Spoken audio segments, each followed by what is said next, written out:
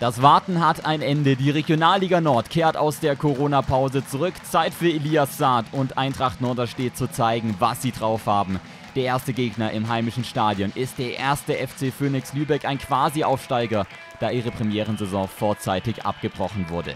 Das Team von Jens Martens hat eine überzeugende Vorbereitung gespielt, trotzdem übt sich der Trainer in Zurückhaltung wegen des stark besetzten Kaders der Lübecker. Ein Teil davon ist zum Beispiel Haris Hüseni, der bereits viel Erfahrung in der dritten Liga und den Regionalligen sammeln konnte.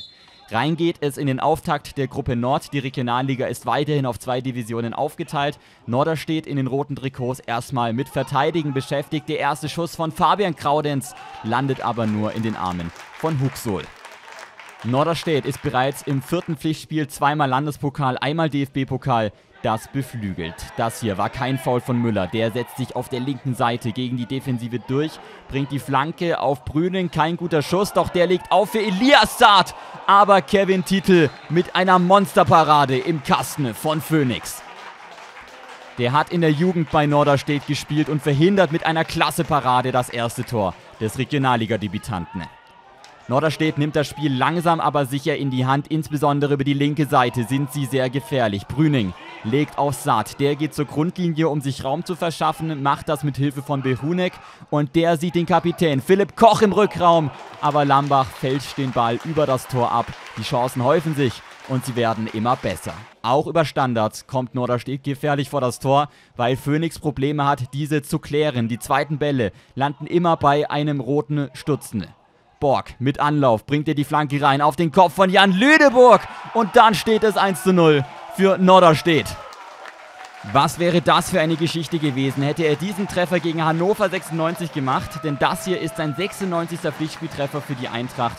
Damit ist er der alleinige Rekordhalter im Verein. Die Unsterblichkeit lässt grüßen. Ein sehr schwieriger Kopfball, nicht einfach zu nehmen, aber das spricht eben für die Stärke von Lüne. Lübeck taucht langsam unter. Offensiv kommen sie selten zur Geltung. Der Kopfball von Hüseni, der letzte Saison von Ulm in den Norden gewechselt ist, bleibt dabei die gefährlichste Aktion der Phönixe. Norderstedt auf der anderen Seite findet Gefallen an Flanken aus dem Halbfeld auf Lüneburg. Diese hier ist weniger erfolgreich. Im Gegenteil, es folgt ein Konter für die Gegenseite. Morten Knutzen, der hat ganz viel Platz auf der linken Außenbahn und sieht Wahabi einlaufen. Der Steckpass folgt. Wahabi orientiert sich an der Grundlinie und sieht den einlaufenden Kraudens. Erste Chance abgeblockt. Doch Norderstedt hat Probleme, die Situation entscheidend zu klären. Zweiter Anlauf, Flanke an den langen Pfosten, ebenfalls nicht erfolgreich, aber die Chance ist danach immer noch nicht vorbei. Raskele mit der Flanke auf Hüseni und dann kann Norderstedt durchatmen. Es geht in die verdiente Pausenführung für Jens Martens Team der sich vor dem Kabinengang aber als Platzwart probiert. Wer will es ihm verübeln? Schließlich sollen in diesem Strafraum in der zweiten Halbzeit die Tore fallen. Ein Loch wäre suboptimal für dieses Unterfangen. Der Platz ist repariert, die zweite Halbzeit beginnt und Norderstedt übernimmt. Phoenix kommt gar nicht mehr zur Geltung. Die Dominanz in Rot nimmt zu. Start tankt sich durch mit seiner ganzen Klasse und wird in vielversprechender Position gelegt. Freistoß für die Gastgeber. Eine Aufgabe für den Capitano höchstpersönlich. Philipp Christian Koch nimmt Maß und zeichnet den ins obere linke Eck. 2 zu 0 für Norderstedt nach 60 Minuten. Besser kann man den nicht schießen. Da klingt es fast schon abstrus, dass Koch seit dem 14. Mai 2017 kein Tor mehr in der Liga geschossen hat. Damals hat er zum 2 zu 1 gegen die zweite vom HSV getroffen. Diese Durchstrecke hat nun ein Ende zur Freude der Fans im Edmund Planbeck Stadion, die ein Spiel mit sehr vielen Flanken aus dem Halbfeld sehen. Und diese hier ist ganz besonders. Brüning mit der Hacke. Ein Wahnsinnsabschluss, aber auch eine Wahnsinnsparade wieder von Titel, der sich hier ganz lang macht und ein Tor des Monats verhindert.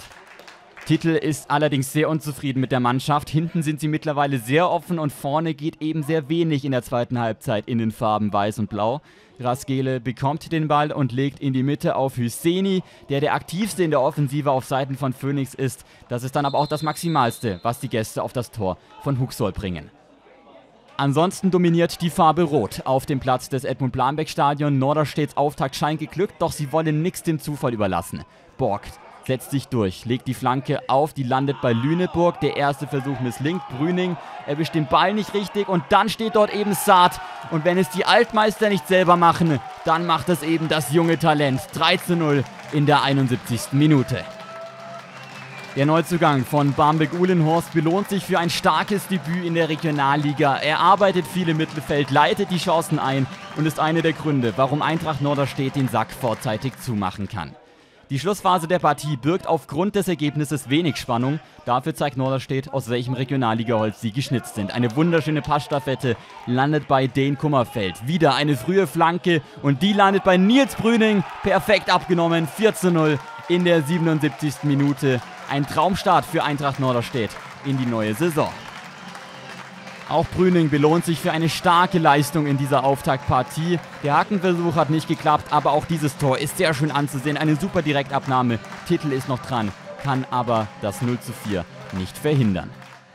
Phoenix versucht sich in Schadensbegrenzung. Sie sind gut in die Partie gestartet, am Ende ist es doch zu wenig. Trotzdem rutscht dieser Ball noch zu Hüseni durch. Aber so wie die erste Chance in der Partie landet auch dieser Ball sicher in den Armen von Huxol. Der hält die Null, danach geht nichts mehr. Norderstedt mit einem perfekten Start in die Regionalligasaison. Das Ergebnis ist mehr als verdient und macht Lust auf mehr. Die Stimmen zum Spiel liefern Harry Sisseni für Lübeck und Debütant Elias Saad für Norderstedt am Mikrofon von Christian Oldendorf.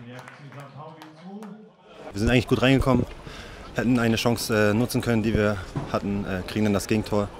Und äh, ja, in der zweiten Halbzeit betteln wir gefühlt darum, äh, Gegentor zu kriegen, machen zu viele Fouls um den 16er rum und dann klingelt und ja, wenn wir dann alles nach vorne schmeißen, dann kriegst du hinten dann noch ein, ein zwei rein. Bei mir geht halt eine Last runter. Ich fühle mich erleichtert, direkt im, zum ersten Spiel direkt getroffen. Fühlt sich einfach geil an.